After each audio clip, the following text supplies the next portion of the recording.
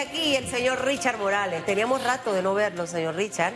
Eh, en las pasadas elecciones estuvo muy frecuentemente visitando diversos medios de comunicación precisamente para hablar de su propuesta. En aquella oportunidad era candidato oficial a la presidencia. Ahora en esta vuelta lo tenemos como candidato a la vicepresidencia en la facción de Maribel Gordón.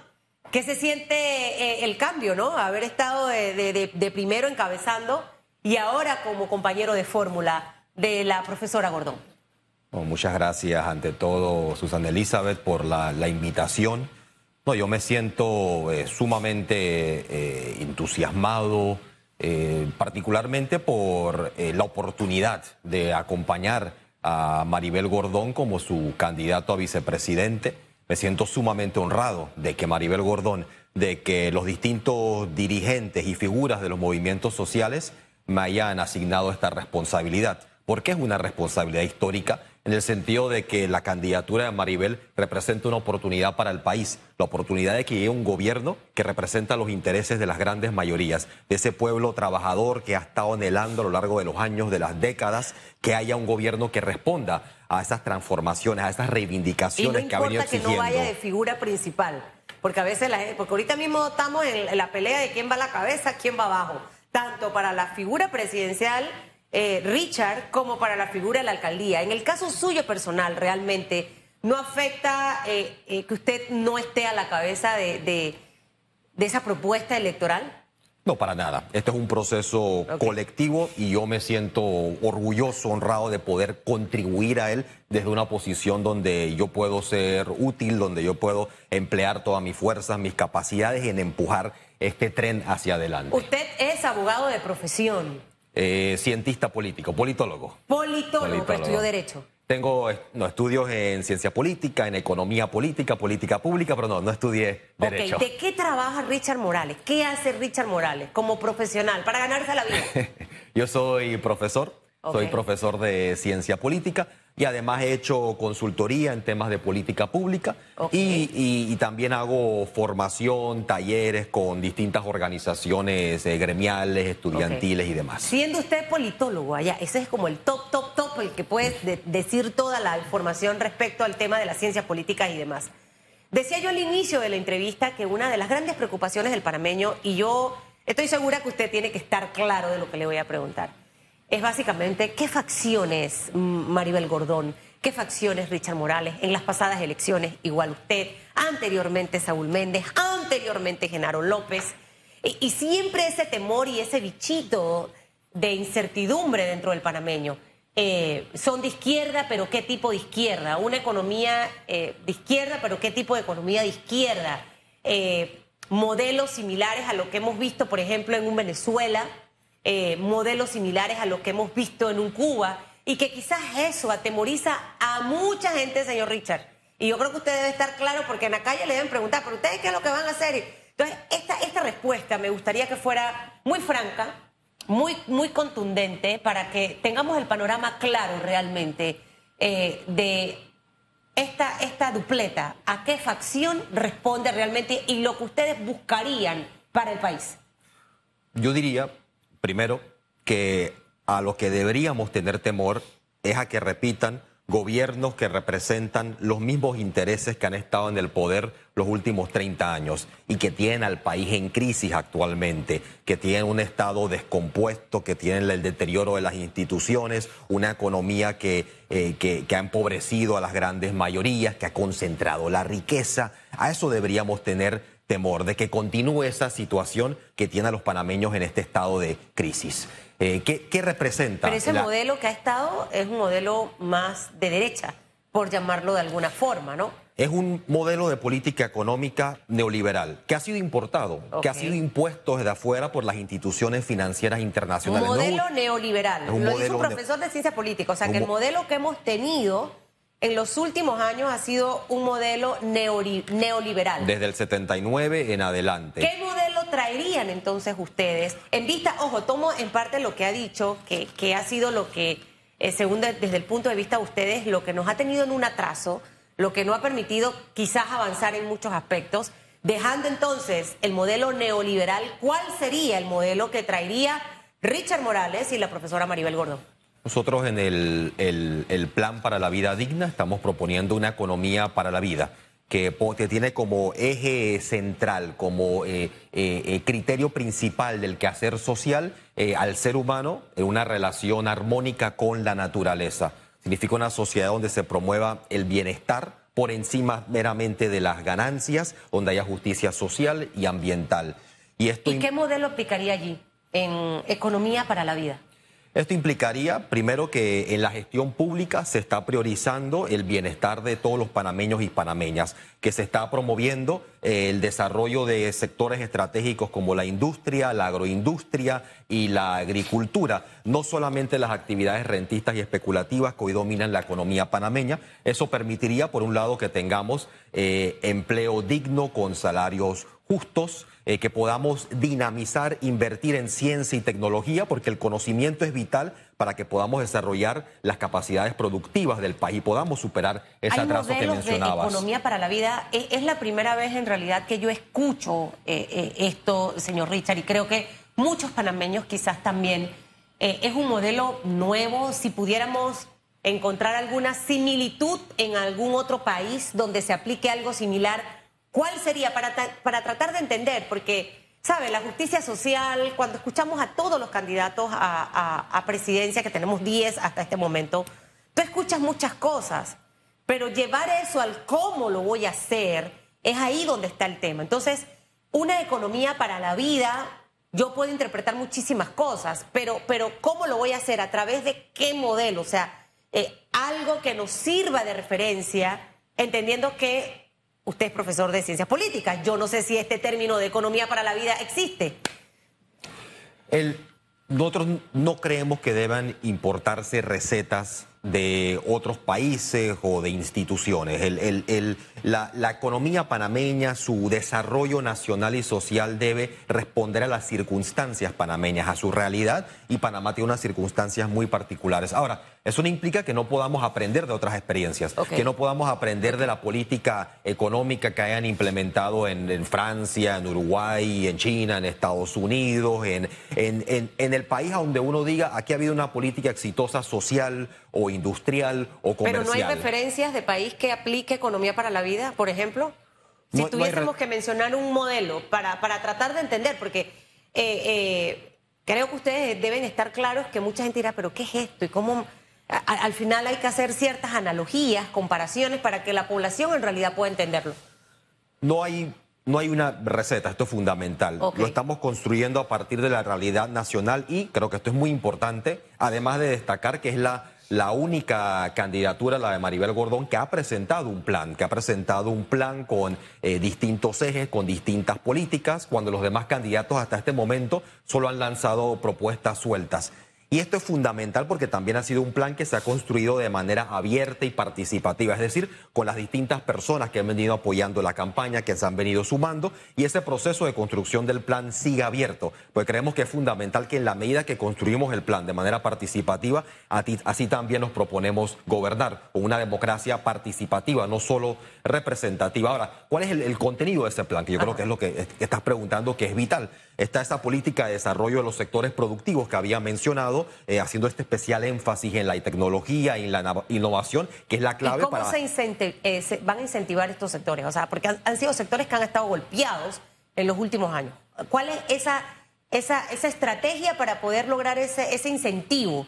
Yo no sé si con un eh, modelo de economía para la vida estamos pensando en atraer inversiones a nuestro país, si en un modelo de economía para la vida que estamos pensando para la generación de empleos en un modelo de economía para la vida que estamos pensando para salvar la caja de seguro social, que es uno de los principales problemas del panameño, eh, eh, y que, y que al, al final eh, la, economía se mantenga en, en ritmos normales.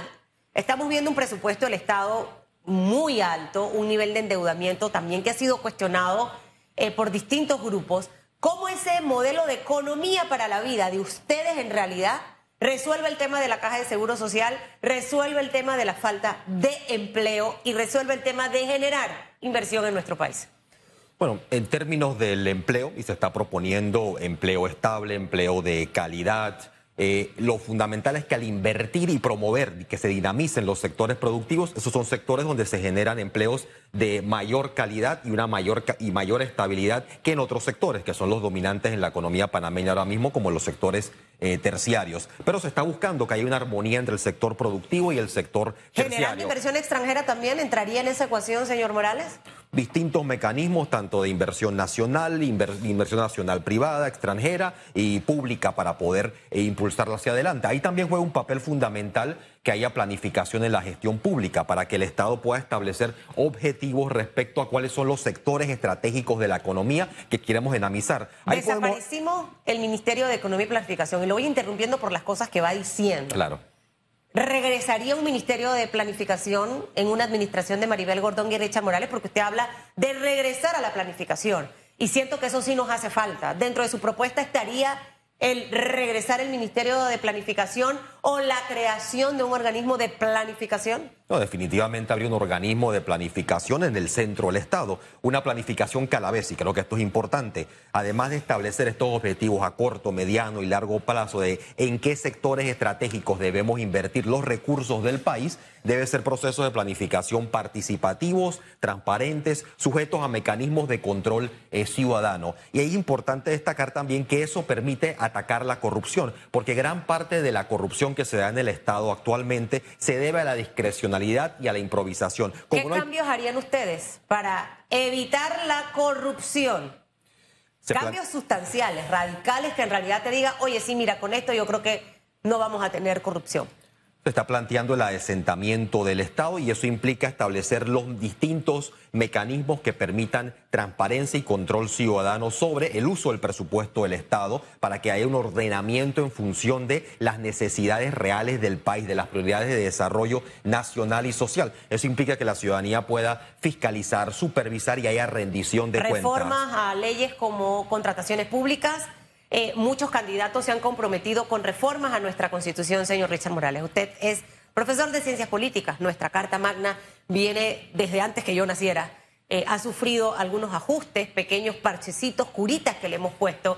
Y es lo que deja la ventana abierta precisamente para los temas de corrupción. Ustedes, frente al tema de reformas a la Constitución, ¿lo asumirían en su administración? ¿Reformas, por ejemplo, a la ley de contrataciones públicas puntualmente? Estamos proponiendo crear las condiciones para una constituyente, para que pueda haber un proceso constituyente, en la medida que en ese proceso debe ser protagónico el propio pueblo panameño, que es decir, es quien debe construir la nueva constitución y le correspondería al nuevo gobierno, al gobierno de Maribel Gordón, eh, crear las condiciones para ese proceso. Eh, y estamos proponiendo efectivamente una reingeniería del Estado donde podamos cambiar la relación que existe entre los poderes del Estado, porque actualmente hay una relación de chantaje entre los distintos poderes, donde el legislativo para pedirle presupuesto al, al Ejecutivo lo presiona y viceversa, ¿no? Ahora, ustedes solamente tienen hasta este momento eh, la figura de Maribel Gordón y su persona, o sea, desconozco si tienen candidatos a diputados eh, si tienen candidatos a representantes, si tienen candidatos a alcaldes. Y, al final para lograr ese balance y que las cosas se den, porque pongamos el escenario que ganase Maribel Gordón y que la Asamblea no tenga ningún tipo de representatividad de ustedes. O sea, ¿cómo lograr precisamente avanzar en todos estos temas si al final de una manera u otra necesitamos al órgano legislativo? O sea, para la aprobación de proyectos, de presupuestos, o sea, una serie eh, de, de normas que tienen que pasar por la Asamblea Nacional. O sea, sin eso ustedes no pudieran avanzar. ¿Eso lo han contemplado? Sí, efectivamente. Ante, para la primera pregunta, sí hay una serie de candidatos a representante, a diputado, a alcalde. Eh, todavía se está contabilizando la cantidad exacta. Eh, yo creo que en, los próximos tiempos se pueda eh, anunciar, ¿no? Cuántos candidatos en ¿Y tienen candidatos a diputados también? Sí, hay candidatos a ¿Suficiente para tener mayoría dentro de la Asamblea Nacional?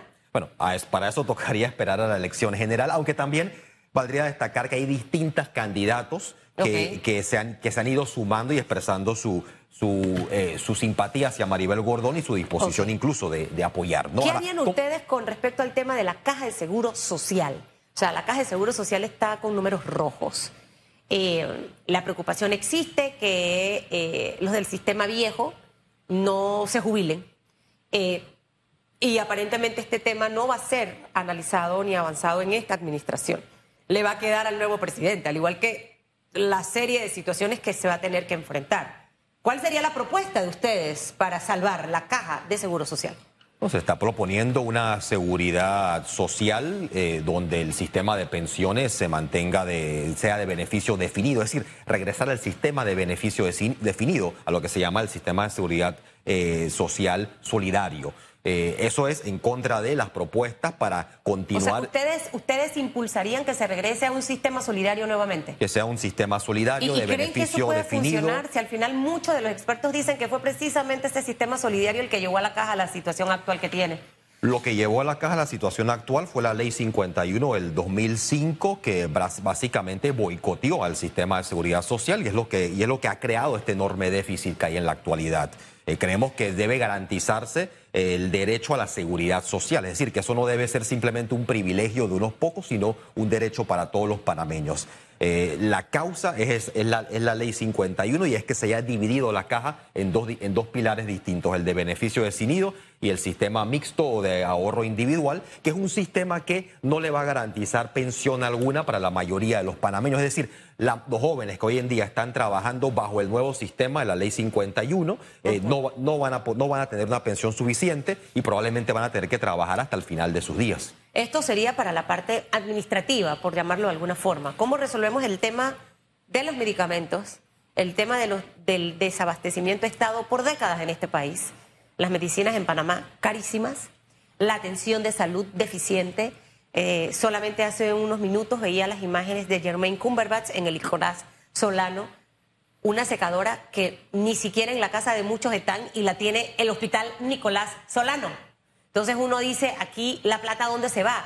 ¿Cómo administrar el tema salud de una manera que los panameños que pagamos seguridad social tengamos una salud de nivel? Eh, porque esta parte administrativa ya me lo planteó que a través del sistema solidario ustedes impulsarían que regrese, pero el resto de los servicios de la Caja del Seguro Social, ¿cómo ustedes van a resolver este tema de medicamentos, de atención, de instalaciones, de infraestructuras y demás? Bueno, el tema de los medicamentos ha habido una propuesta sobre el, tapete que es la de, la, de, la de que los organismos internacionales vinculados a Naciones Unidas puedan encargarse de eh, puedan encargarse de la compra de los medicamentos. Es un mecanismo que ha sido implementado en distintos países y saca de las manos de eh, los intereses locales que han eh, históricamente lucrado con la compra de los medicamentos. Porque sabemos que en el sector de los medicamentos lo que hay son unos oligopolios que se enriquecen a costa de todos los asegurados y de todos los eh, panameños. Así que estamos proponiendo que este es un mecanismo que debe permitir eh, conseguir medicamentos a, buen costo y ahí también entra nuevamente la planificación. En la medida que estés haciendo las compras de forma planificada puedes evitar estos problemas de desabastecimiento. Eh, y ahí también tocaría... ¿Y los recursos de dónde saldrían? Los, recursos están ahí. si, si se ataca... Con los recursos que están, ¿usted cree que es suficiente? Tenemos los recursos y podemos ver incluso el, presupuesto de este año del Estado que ha aumentado en 5 mil millones. Es decir, tenemos los recursos, lo que, lo que no tenemos es una buena utilización de esos recursos. Es decir, no están atendiendo las necesidades de los panameños, sino están yendo a enriquecer a la partidocracia y a los donantes, a todos los que se enriquecen a costa del el presupuesto del Estado. ¿Cómo mejorarían el tema de educación? El gobierno acaba de anunciar el tema de los semiconductores eh, y algunas de las críticas es nuestros estudiantes no hablan inglés, eh, en nuestras escuelas no hay ni siquiera computadoras y no dan informática todos los días eh, dentro de los planteles. O sea, el tema educativo está en una situación preocupante. Nuestro nivel académico y, y, el ranking de la educación panameña no está dentro de los mejores. Nos cayó la pandemia, todas estas cosas nos afectó. Pero ¿cuál sería la propuesta del equipo de ustedes para resolver el tema de la educación en Panamá? El plan para la vida digna eh, garantiza los derechos humanos, entre esos el derecho a la educación, a una educación pública, a una educación gratuita y una educación laica. Y la gratuidad es importante. Laica. y la ¿Por qué laica? Laica porque se deben respetar las creencias de todos los panameños por igual, incluyendo de los propios estudiantes y de, y de sus familias. Eh, y nosotros creemos que la educación como un derecho humano se le debe garantizar de manera gratuita a todos los, a todos los jóvenes, porque muchos jóvenes abandonan la escuela, sobre todo después de la premedia, cuando acaba la educación obligatoria, para ir a trabajar porque tienen que sustentar los hogares. Y ahí es donde el Estado tiene que invertir en los servicios de alimentación, de estadía y de, de transporte, para que los estudiantes puedan continuar estudiando sin tener que, por hambre, tener que retirarse de la escuela. El presupuesto de Meduca es alto. Eh, ahora está el FESE, por ejemplo. O sea, si nosotros hacemos una evaluación, señor Richard, de la cantidad de dinero que recibe la educación en nuestro país, que no es la suficiente, ok, esa es otra cosa. Pero sí recibe los recursos. Pero sin embargo, nosotros seguimos viendo los mismos problemas. Está el tema de infraestructura, que es una cosa, pero el tema del contenido, de, de esa calidad realmente de nuestra educación, que es lo que le podemos ir metiendo más plata y más plata y más plata, y esa no es realmente la solución. Ahora, Panamá históricamente ha invertido muy poco en educación comparado con la región. Invertimos en un promedio un 3% del PIB cuando los países deberían estar invirtiendo por lo menos un 7%. Los países punteros de la región invierten ese 7% y si nos vamos a países del sudeste asiático, por ejemplo, de Europa, la inversión supera incluso el 10% del PIB. Ah, incluso este año que el gobierno eh, eh, está eh, afirmando que están invirtiendo un 7%, eso en verdad se está distribuyendo entre instituciones que no son, que no están vinculadas a la educación. Así que están enmascarando el hecho de cuánto se está invirtiendo verdaderamente en la educación. Ahora, pero hay dos elementos importantes que se aumente la cantidad de dinero que se invierte en la educación, que no vaya solamente a gasto corriente, sino que vaya a gasto de inversión para que podamos tener las tecnologías, las condiciones adecuadas para que los estudiantes puedan aprender, pero también que la educación vaya en función de ese plan de desarrollo nacional y social. Porque si tienes una educación que la estás cambiando, la estás adaptando a cada nueva circunstancia, estás improvisando en, tu, en, la educación. Por ejemplo, ahora viene la inversión esta de los semiconductores, así que van a ver cómo improvisan un cambio en la educación. Lo que debe, lo que debe ser es que en función de las prioridades del desarrollo, vamos estableciendo un, sistema educativo adecuado a ello. Había hablado de, de la importancia que tiene el plan para la vida digna eh, el desarrollo de la tecnología y la innovación. Así que la educación debe insertarse, debe modificarse, cambiarse, transformarse en función de, ello. Usted me ha hablado de muchos aspectos y nos queda casi nada de tiempo. Necesito hacerle como tres preguntas. Muchos han planteado reducir la cantidad de diputados en la Asamblea Nacional. ¿Ustedes qué piensan? ¿Debe reducirse o no? No, pues una, es una no, no, pudiera responderte específicamente si si, si debe reducirse cuántos diputados hay, aunque uno pudiera plantear que, que, que sería factible. Pero el problema no es tanto cuántos diputados hay, es en qué es si esos diputados están respondiendo a los intereses nacionales y si existe una auténtica democracia participativa. Porque actualmente hay 71 diputados. Claro. Pero esos diputados a quién responden? Responden a sí mismos y a los intereses de los que, los que llevaron al poder. Requerimos democracia participativa y esos son los cambios que requerimos en nuestra constitución, en nuestro Estado. Que diputados investiguen a magistrados, magistrados a diputados, ¿ustedes lo cambiarían o lo dejarían así? Y la manera y la forma en la que se escoge un magistrado de la Corte y a un procurador general de la Nación. Deben haber mayores mecanismos de participación ciudadana y popular en, e, estos procesos. Es decir, es necesario que entre los, que entre los poderes del Estado haya controles entre sí, pero a la vez es, lo, lo que puede permitir que estos procesos funcionen es que estén sometidos a una rendición de cuenta continua a la ciudadanía y bajo estos, estos mecanismos de eh, consulta y participación. En la medida que el pueblo tiene poder sobre sus gobernantes, sobre la elección de los magistrados, sobre la elección de los diputados y el desempeño de los diputados. Porque la diferencia entre democracia meramente representativa y participativa es que en la representativa tú votas cada cinco años y después todo el mundo se va para su casa. En la participativa hay espacios para que la ciudadanía siga participando, siga ejerciendo poder sobre su gobierno. Bueno, de una manera u otra, esos espacios creo que los tenemos no hacemos uso, lo tenemos con el tema de la descentralización para exigir a, nuestras autoridades locales una rendición de cuentas básicamente en que utilizan los recursos. También tiene que haber un cambio de chip en la población panameña para involucrarse aún más en todos estos temas. Son 10 candidatos, señor Richard. Una papeleta demasiado llena de fotitos para un país tan pequeño como Panamá. Y, en este momento eh, la evaluación en la mesa está en las futuras alianzas políticas que puedan hacer estas 10 figuras. Eh, y manejo información de algunas reuniones que se están dando. Me llama poderosamente la atención que se dio una sumamente importante hasta de ayer y esa todavía no ha salido por ahí, pues no voy a ser yo la que la va a decir. Eso me lo, me lo pidieron en secreto y en secreto se queda. ¿Ustedes van a estar conversando con algún grupo? Eh, porque solos es complicado y difícil. O sea, creo que el resultado de, la recolección de firmas nos arroja los montos de firmas que cada una de las figuras pudo contar. Y si luego sumamos la cantidad de votos que sacaron los candidatos en sus primarias a los que fueron a primaria, nos refleja exactamente lo mismo. ¿Hay algún grupo con el que Maribel Gordón y Richard Morales se siente a conversar? ¿La posibilidad de alianzas está en la mesa o no? Pues lo primero es aclarar que con los partidos y las figuras que han estado históricamente gobernando este país por los últimos 30 años, entonces nos vamos a sentar porque Es ellos decir, son- no se van a sentar con el PRD. No. Pero dígame más duro, no se van a sentar con el PRD. No nos vamos a sentar con, PRD, el, con el PRD, el panameñismo, Cambio Democrático, Democrático. quienes han alternado en el poder, pero muy importante, ¿Molinena? pero sí con las bases de los partidos, porque las bases de los partidos están descontentos con sus dirigencias y sus O candidatos. sea, no se reunirían eh, o trabajarían en una alianza con los partidos, pero sí pudieran avanzar con sus bases. Con, Con el resto bases. de las libre postulación, eh, eh, el señor Ricardo Lombana, que es un partido nuevo, el partido País de José Alberto Álvarez, por ejemplo, ¿con eso se sentarían a conversar? ¿Son, ¿Son partidos que nunca han estado en el poder o no? Son figuras que tienen complicidades con los gobiernos que han estado en, con los gobiernos que Ambos, ha tenido País y Panamá. Moca. Efectivamente.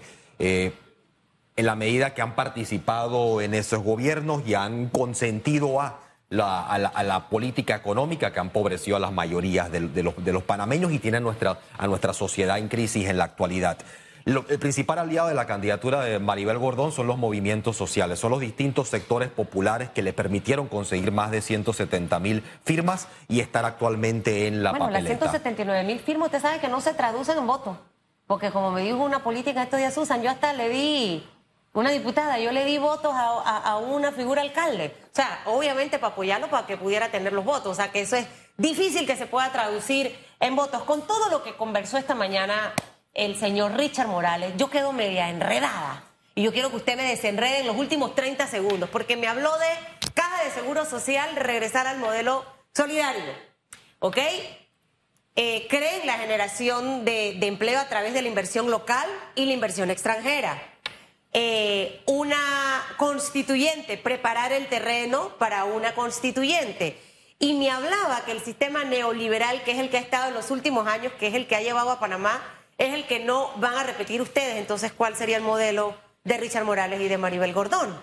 Es el modelo de una economía para la vida, donde... Pero es que si no existe una definición, siento que no sé qué es. La Porque, defini- ojo, el plan vida digna suena bonito, es una frase, eh, una, eh, una economía para la vida a nivel del tema económico, pero eh, siento que, que estoy como confundida, porque hay cositas del sistema neoliberal que usted me ha mencionado y otras que no tanto. Entonces, creo que hay que como que definir, porque si usted que es profesor de ciencia política, eso todavía no está en, los libros, ¿cómo lo, cómo lo definimos? Lo principal es el, el eje rector. ¿Cuál es, ¿Cuál es el eje, el criterio bajo el cual se orienta la gestión pública y la política pública? ¿O es como en la actualidad con el neoliberalismo la ganancia para unos pocos a costa del empobrecimiento de las mayorías y la destrucción del medio ambiente? Y lo contrario ¿O a nivel o es la vida humana? El donde que significa los ¿Y seres cuál sería el humanos en modelo armonía. contrario al no- neoliberalismo? Esto significa servicios públicos garantizados por el Estado,